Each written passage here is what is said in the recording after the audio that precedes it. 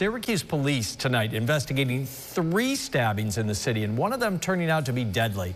Officers got the first call just after 2 this afternoon right by South State and East Fayette. Turns out a man had what they called a minor puncture wound to his lower back. He refused treatment. Then about a half hour later, police responded to the 600 block of South Salina. They found a man in his 50s stabbed in the neck.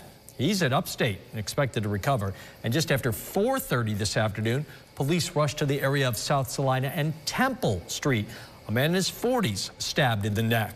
He was rushed to upstate, but later died. All these investigations are ongoing, so if you can help city detectives with any of these, call them 315 442 5222.